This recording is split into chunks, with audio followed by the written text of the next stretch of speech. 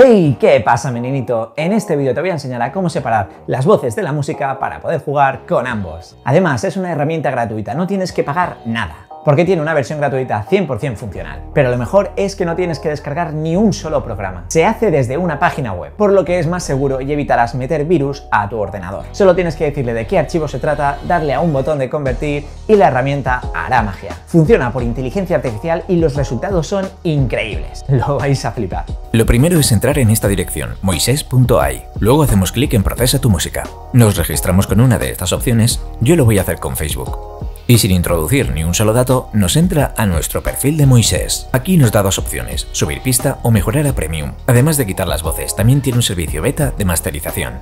Simplemente seleccionamos el archivo y le podemos dar una pista de referencia para que suene muy parecido. Pero nosotros vamos a lo importante, a cómo separar las voces de la música. Así que volvemos atrás y le damos a subir pista, separación de pista. Podemos elegir el archivo de forma local en nuestro ordenador o con un enlace de YouTube. Pues nos vamos a YouTube y ya tengo aquí preparado uno del tráiler del Hobbit.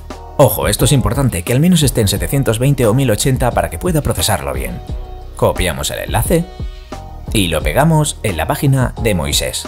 Una vez lo hacemos, le damos a este desplegable de aquí y nos muestra todas las opciones disponibles. En el caso de una canción te lo puedes separar hasta en cuatro pistas, voz, bajo, baterías y otros, pero nosotros vamos a elegir voz y acompañamiento que es el instrumental. Le damos al botón de enviar y como vemos, está puesto en la cola. Ojo, puede tardar desde un minuto hasta 30 minutos. Evidentemente los premium irán primero. A mí me ha tardado 5 minutos con la versión gratuita. Cuando terminen, te enviarán un correo electrónico. También cambiará el estado en la propia página de Moisés. Como vemos, ya ha terminado de cargarse. Ahí está el check y nos aparece la opción de descargar. Pero aún no lo vamos a descargar, ya que tiene un mezclador virtual en el que podemos ver cómo ha separado las voces. Nos da la opción de hacer una preescucha, dando a este botón de aquí. Ahí vemos por separado la voz y el instrumental, Podrías descargarlo directamente en MP3, pero vamos a lo interesante que es abrir el mezclador. Mira qué pasada. Chan chan chan. En tiempo real puedes ocultar las voces o ocultar el instrumental. Como podemos ver, aquí arriba tenemos las voces y abajo el instrumental.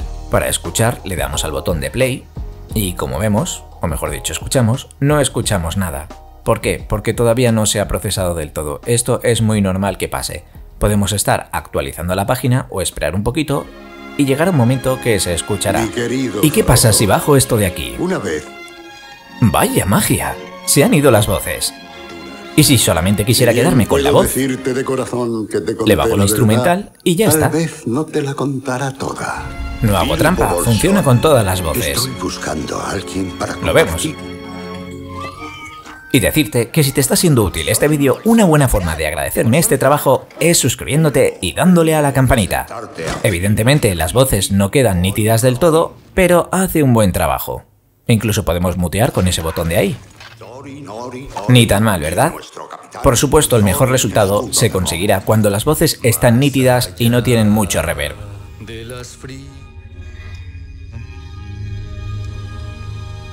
Otra cosa que te puede interesar es qué ventajas tiene ser premium.